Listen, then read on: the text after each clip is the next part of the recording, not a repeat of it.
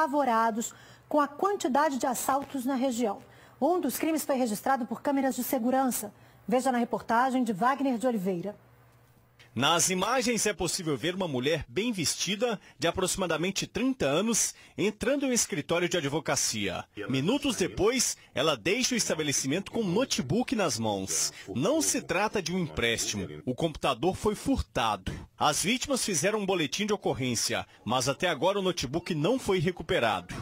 As imagens foram gravadas pelas câmeras de segurança da casa desse morador a pessoa do escritório me procurou. Aí quando a gente viu o acesso das câmeras, o que acontece?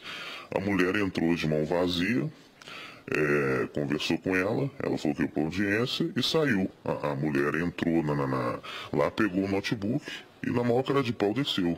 A rua Professor Clóvis Salgado tem menos de 3 quilômetros. Nós estamos bem próximo da Avenida JK e também da Avenida Governador Valadares, no centro de Betim.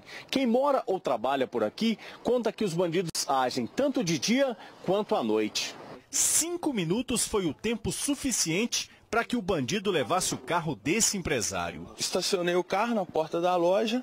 No momento que eu entrei, poucos minutos, o cidadão entrou no meu carro e saiu com ele. Bem próximo de onde o computador foi furtado, há uma sede da Guarda Municipal. Nem isso inibe a ação dos marginais. Está complicado, as pessoas não estão seguras, ninguém conversa mais em portas de residência, porque a, a situação realmente é de alerta.